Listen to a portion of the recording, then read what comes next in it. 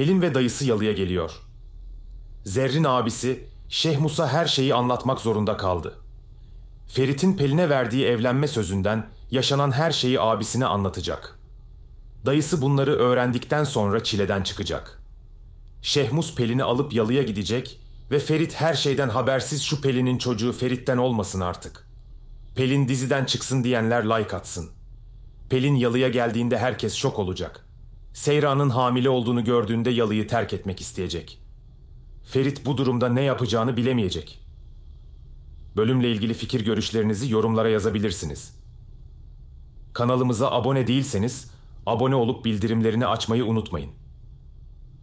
Başka bir bölümde görüşmek üzere kendinize iyi bakın.